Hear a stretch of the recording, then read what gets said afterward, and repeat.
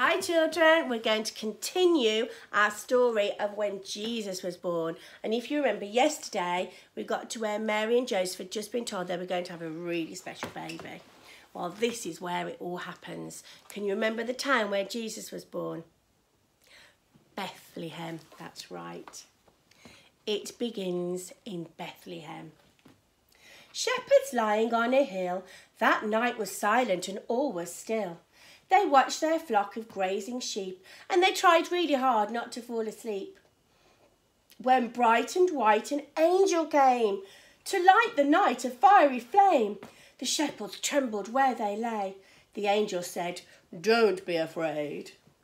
Sing praises to God and give him glory. Celebrate this wonderful story of love and joy and peace to men, for it begins in Bethlehem. The news is good, the news I bring. Good news to make you leap and sing. Good news for people everywhere. Good news of joy for all to share. Good news for God has kept his word and sent his Saviour Christ the Lord.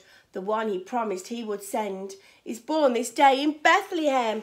There's the angel there, look, can you see?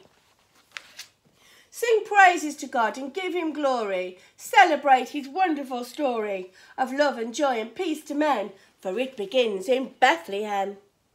And this will be a sign for you, and this is how you'll know it's true. You'll find a baby wrapped in cloth, sleeping in a cattle trough. The angel then was joined by more, six and twelve and twenty-four, and then too many more to number, a heaven choir loud as thunder, there's all the choir, can you see? Sing praise to God and give him glory. Celebrate his wonderful story of love and joy and peace to men. And it all begins in Bethlehem. And so the angels left that place, just like they'd come without a trace, except for all they sang and said was echoed in the shepherd's head. There we go, and we'll carry on, look. That's what happens, see what happens next. Let's go to Bethlehem and see. The shepherds all as one agreed. They found the baby where he lay, asleep upon a bed of hay. Sing praises to God and give him glory. Celebrate this wondrous story of love and joy and peace to men, for it begins in Bethlehem. They told them what the angel said. Then Mary smiled and raised her head. A secret hid there in her eyes, for she was not one bit surprised. So back they went to Sheep and Hill, no longer silent and hardly still, but singing loud like angels bright of all that they had seen that night.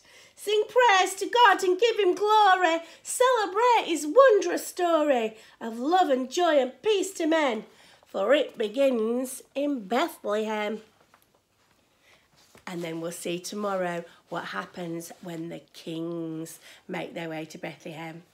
See you tomorrow, children. Bye bye.